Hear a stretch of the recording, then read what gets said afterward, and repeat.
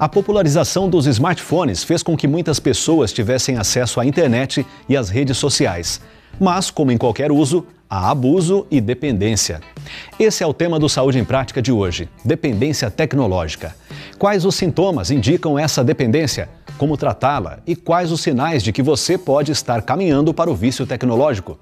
Confira agora no Saúde em Prática.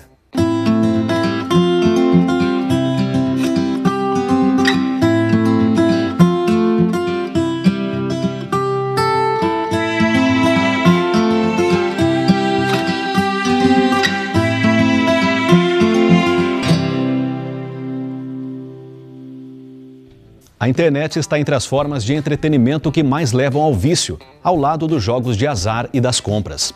Em países como Japão, China e Coreia do Sul, o vício tecnológico já é tratado como uma questão de saúde pública, com direito a programas governamentais para tentar minimizá-lo. E no Brasil, quais os impactos à qualidade de vida a tecnologia tem gerado?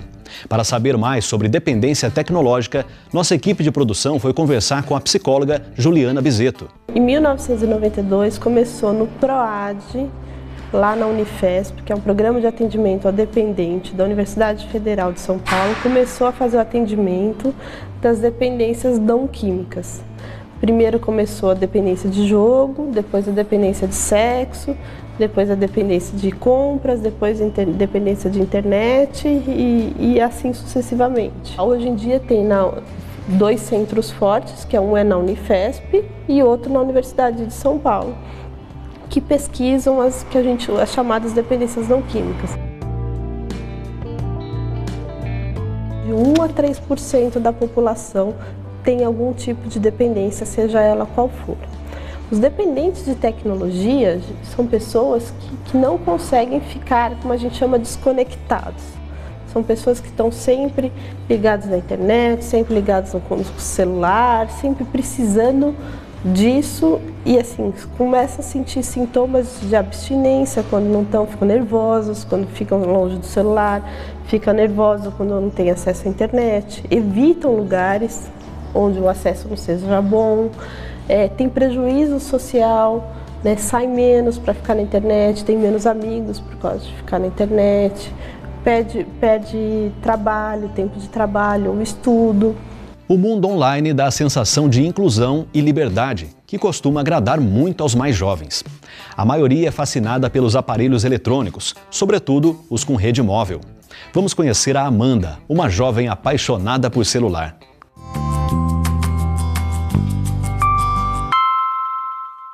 Pessoas reclamam bastante com o celular, mas minha família, meu pai, falaram que eu já estava viciada no celular. É, todo momento, tá toda hora no celular, vai no banheiro, tá com o celular na mão, vai sair, está com o celular na mão. Fazer qualquer coisa, a gente tá mexendo desde a hora que acorda tomando café, tá no celular. Vai almoçar, fica no celular o tempo inteiro. Durmo com o celular ligado, às vezes a gente acha que vai ter alguma coisa importante logo no meio da noite. Uma vida sem internet seria bem complicado, porque em tudo tem internet hoje em dia. Não sei como eles faziam antigamente. Vou fazer uma viagem agora, final do ano, e não já. Primeira coisa que falei pra minha mãe: você tem sinal de celular? E não vai ter. É, vou ficar lá procurando sinal na, na viagem.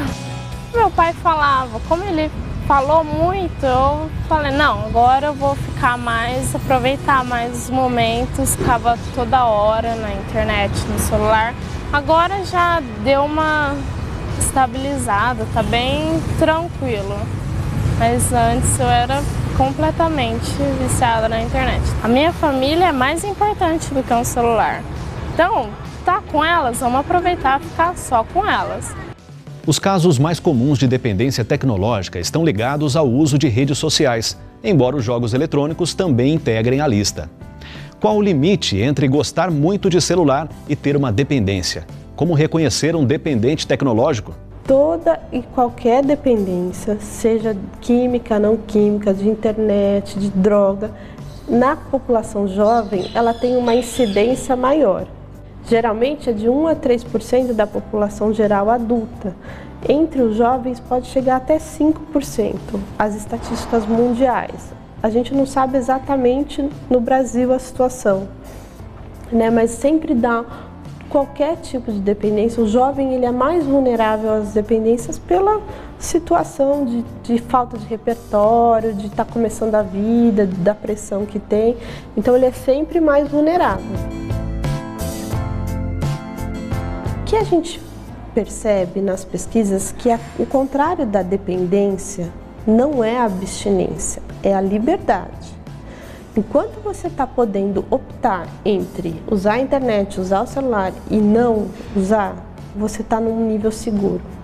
Quando eu consigo desligar o celular para assistir, quando eu consigo desligar da internet, quando eu consigo desconectar de, um, de uma rede social e eu ficar tranquila com isso, é, a gente está no, no, no, quando a gente ainda tem autonomia, liberdade para optar ou não pra, pra, pela tecnologia, isso é o que deixa a gente seguro. Quando a gente não consegue começa a ter perdas nisso, a gente tem que tomar cuidado, porque tem entre a dependência e a autonomia, tem também graus, né? Tem o abuso, tem dependência mais leve.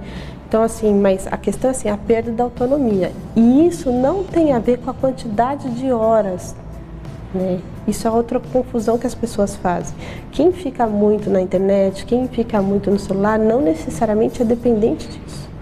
O que a gente vê é quando a gente pede a liberdade de optar não estar. Isso pode ser até em poucas horas. Né? Então, quando você sentir que está tendo prejuízo que isso, e ainda está é, e ainda não consegue deixar, aí, independente da quantidade de horas ou do de tempo investido, tem que procurar ajuda.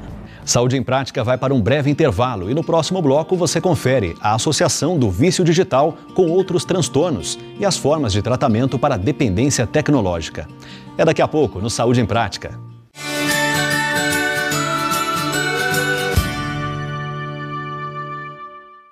O travesseiro deve ser trocado a cada dois anos para que seja evitado a presença de ácaros, de poeira e desencadeando a rinite alérgica.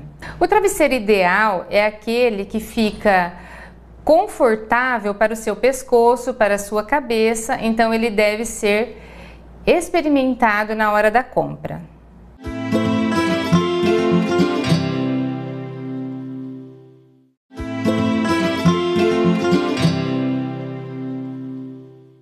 Saúde em Prática está de volta hoje falando de dependência tecnológica. O vício digital aciona nosso sistema cerebral de recompensa e, como ocorre em outras dependências, é preciso usar cada vez mais para obter o mesmo prazer inicial. Estar online torna-se uma forma de prazer que encobre a dor, já que muitas vezes a dependência tecnológica pode estar associada ou esconder outros transtornos.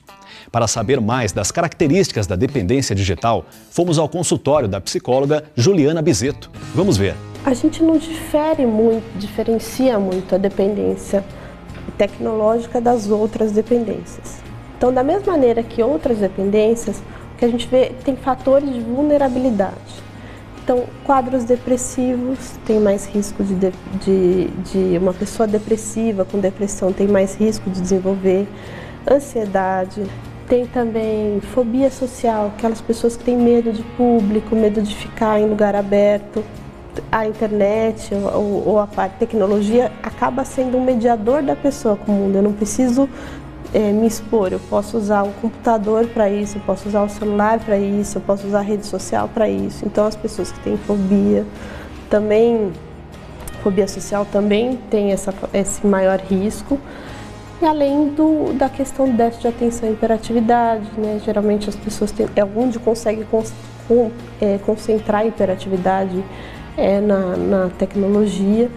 E assim, todas as pessoas que têm alguma perda de repertório, desempregado, depois um evento traumático.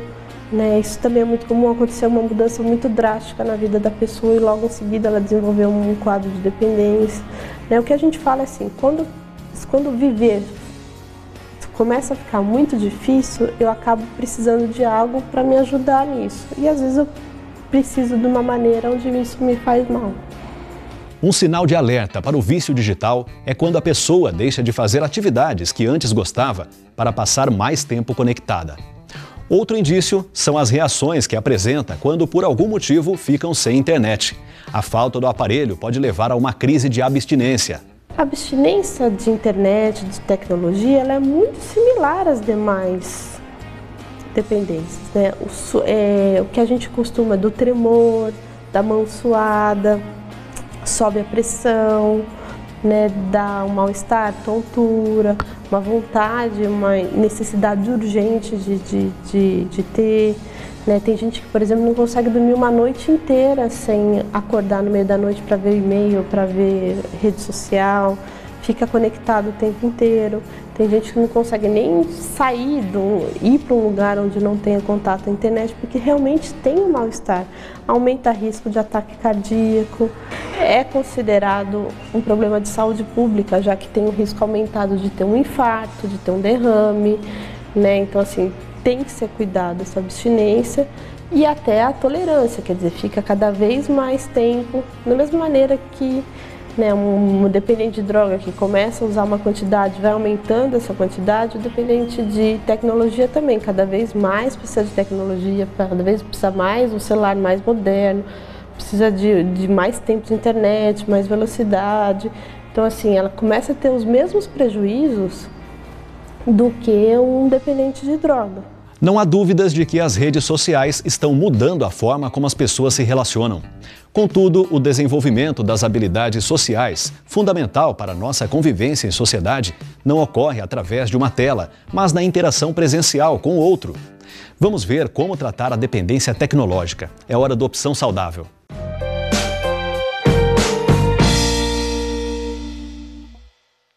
Existem várias linhas de tratamento. Né? A linha que a gente segue, que é mais é, que é mais cientificamente comprovada, não trabalha com abstinência. A abstinência pode como abstinência como única meta de tratamento, né? Porque a gente vê que desconectar uma pessoa da tecnologia, a gente muitas vezes está criando outros problemas.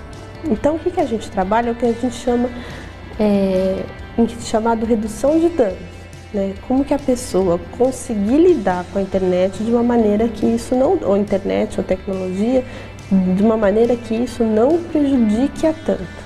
Algumas pessoas vão ter que ficar abstinentes ou longe de, né? As outras não. Então, para cada caso, a gente faz o que a gente chama de projeto terapêutico individualizado. Não dá para fazer uma, um programa global para todo mundo. Então, se você tem problema, você tem que parar de usar, porque você vai criar outros problemas. Então, assim, cada caso é avaliado individualmente e, de alguma maneira, tenta inserir a tecnologia de uma maneira que, que a pessoa tenha menos prejuízo.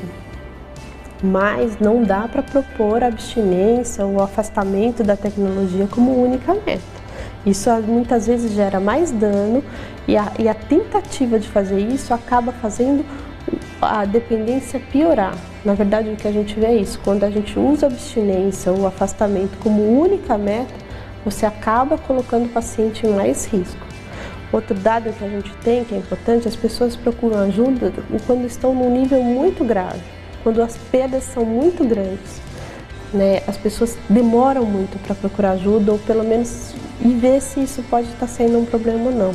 Então, quando começar a sentir que está um pouco demais, era bom procurar um profissional de saúde, alguém que possa orientar, fazer uma avaliação e ver se se está começando a ir para um caminho ruim, né? Não só ou, ou, ter prejuízo com isso, e não só quando isso é óbvio, né? O que a gente vê é que quando chega para tratamento é óbvio que a pessoa tem problema porque já está muito grande. Saúde em Prática fica por aqui e você aí de casa pode rever esse programa e todos os já exibidos em nosso site. A gente se encontra na semana que vem. Tchau, tchau!